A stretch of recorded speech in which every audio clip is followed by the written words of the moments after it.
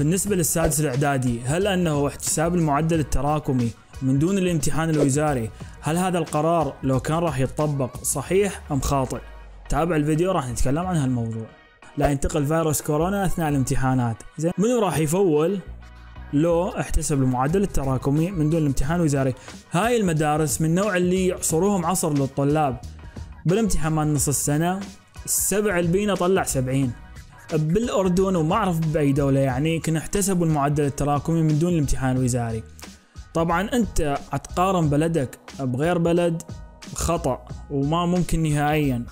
بينما بغير دولة لا يتعين من التربية من الهندسة من أي كلية قبل مباشره تعيين مركزي. خيامكم وقعدوا هناك الأسبوع. وخل نشوف التربية شنو معناها وشنو سالفتها وين توصل ما أعرف يعني والله الحقيقة ما عندي جواب لهالشكل بشر الصراحة.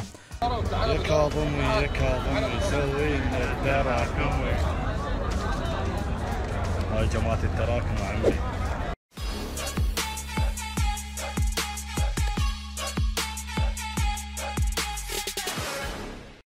السلام عليكم ورحمة الله. شلونكم أصدقائي؟ إن شاء الله تكونوا بخير. معكم أخوكم محمد طال من قناة تكنوميت.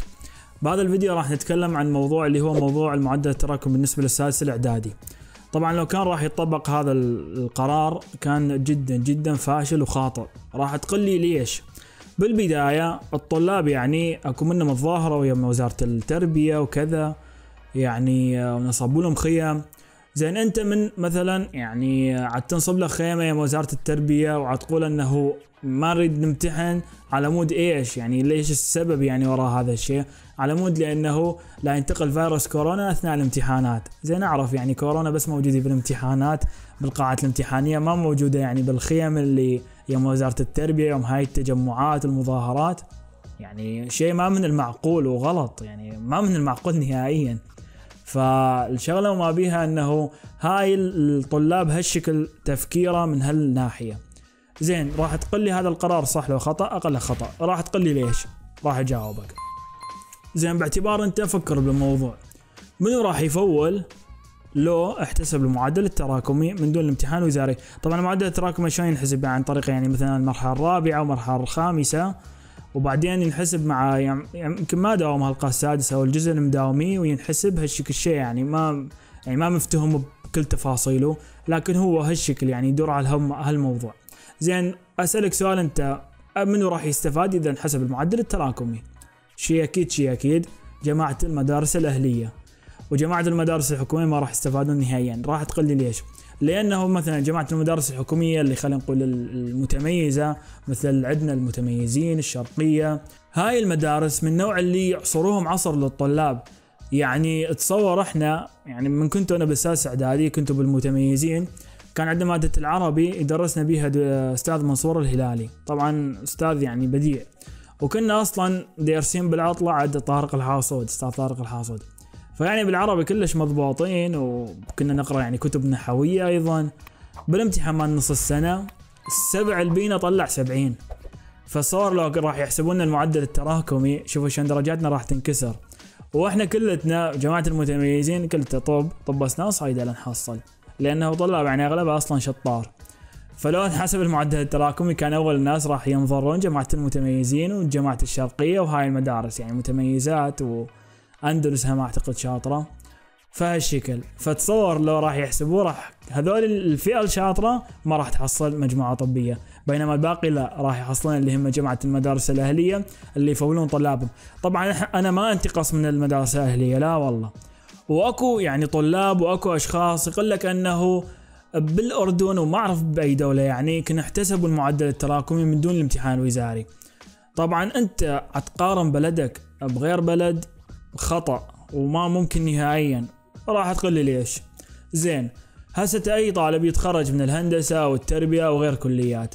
ماكو تعيين الدولة ما تعين. بينما التعيين خلينا نقول آه، بالنسبة للطبية يعني شبه مضمون أو الناس حتتقاتل عليها لأن غالبا ما راح يتعين. بينما بغير دولة لا يتعين من التربية من الهندسة من أي كلية. قبل مباشرة تعيين مركزي. فأنت ماكو أي وجه للمقارنة وخطأ. يعني خطأ إنه ينحسب المعدل التراكمي على مود هاي يقول لك انه ترى صارت بغير دولة. ما ممكن المقارنة ما ممكن نهائيا. طبعا أكو أشخاص يعني الحقيقة طلعوا على ال social media وحكوا وما أعرف يعني صار أكو فد استفزاز للشعب أو فد استفزاز للطلاب وخلاهم يطلعون مظاهرات. يعني ما أعرف أكو فيديوهات. النشر تخيل أشوفكم أحد الفيديوهات. قصص هاي والافلام عم طلاب السادس أهل بغداد أنتم اليوم أقرب شيء للوزارة مالت التربية. خيامكم وقعدوا هناك الأسبوع وخل نشوف التربية شنو معناها وشنو سالفتها وين توصل. حياكم الله يا طلاب السادس وقفوا. اليوم الرجل صاحب موقف. أوقفوا هناك وخلوكم زلم. وهنا محافظه النجف وبقيه المحافظات هم توقف. وقدام التربية ونشوف وين توصل وياكم. لأن بطلوهن ملاتكم عمي. لأن قصصكم وافلامكم بطلوهن. طالب ما درس. يعني أنت كم واحد اهله ناعم عليهم. دروس خصوصية وما دروس خصوصية. والله جات تتملعب تتملعب بأرواح الوادم تتملعب بحقوق الناس. عيب عم عيب أرواح الوادم. عيب خاف يا طلاب ومهتمين مو يم كورونا لك يا أبويا ما درسوا. شلون ما تريد تجمعها؟ شلون ما تريد تحسبها ماجد ما درسوا ولا يم الدراسة. السنة كلها ما درسوا. أسبوعين ثلاث أسابيع من السنة كلها إذا طلعوا دارسين عمي أنا باطل ابن باطل.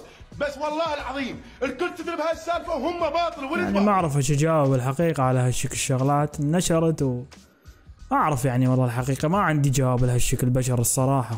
شوف هذا الفيديو الأخ. يا كاظمي يا كاظمي سوي لنا التراكمي هاي جماعة التراكم عمي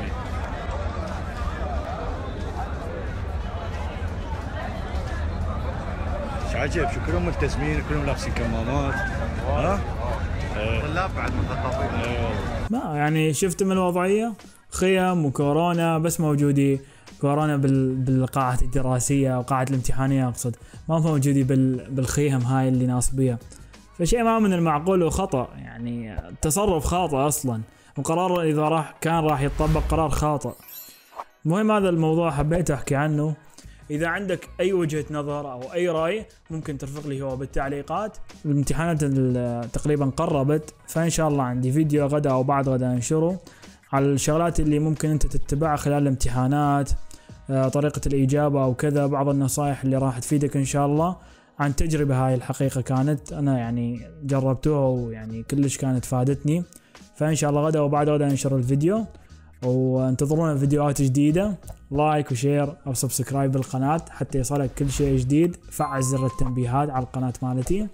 وشكرا جزيلا لأن كملتم الفيديو. مع السلامة.